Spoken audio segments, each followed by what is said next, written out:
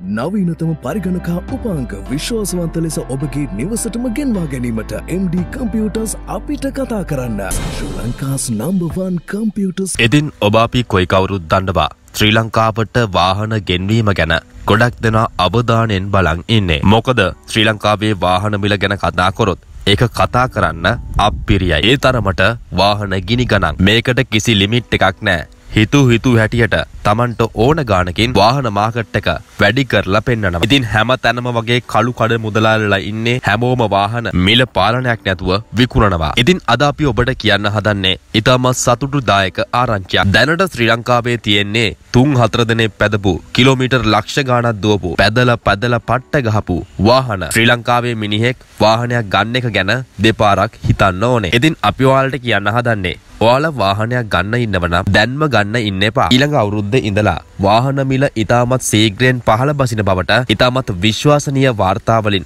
ඔප්පු කරලා තියෙනවා. මොකද රටක වාහන මිලක් මේ ආකාරයෙන් තියෙන්නේ නැහැ. මොකද වාහන බිස්නස් කරන කට්ටිය හැමදාමත් මේ විදිහට ඉන්නේ නැහැ. වාහන අනිවාර්යෙන්ම ගෙන්නනවා. ඉතින් ශ්‍රී ලංකාවට අලුතෙන් වාහන කීපයක් ගෙන්වීමට සූදානම් බවත් ඒ අනුව ශ්‍රී ලංකාවේ දැනට තිබෙන වාහන මිල ඉතාමත් සීග්‍රයෙන් පහළ යන බවත් වසනීය පුවත් වාර්තා කිරීමත් සමග ගොඩක් දෙනා මේ වන කොට වාහන මිලදී ගැනීම පිළිබඳව ඉතාමත් දෙකඩියාවකින් සිටිනවා. ඉතින් ඔබට කියන්න ඉදිරියේදී ශ්‍රී ලංකාවේ මැතිවරණයක් පැවැත්වීමට නියමිතයි. ඉතින් කොහොම හරි මිනිස්සු රවට්ට ගන්න පොඩි කාලෙකට හරි පොඩි ප්‍රමාණයක් හරි ලංකාවට වාහන ගෙන්නනවා. ඉතින් එහෙම ගෙනාවොත් ලංකාවේ තියෙන පරණ වාහන මිල ඉතාමත් සීග්‍රයෙන් පල්ලෙහාට බහිනවා. ඇල්ටෝ එකකුත් ලක්ෂ 26යි 30යි. ඉතින් කොහොමද මිනිහෙක් වාහනයක් පදින්නේ? ඉතින් අපි කියන්නේ වාහන ගන්න ඉන්නව නම් දැන්ම ගන්න හදිස්සි වෙන්න එපා. ඒ සල්ලි පොතේ දාලා ඉතුරු කරගන්න වාහනයක් පදින්න ඕනේ තමයි. හැබැයි ටිකක් අඩු වුණාම අපි ඒක ගමු කියලා ඔයාලට කියනවා. ඉතින් ඔබටත් මේ ගැන සිතන අදහස පහතින් දක්වන්න අමතක කරන්න එපා.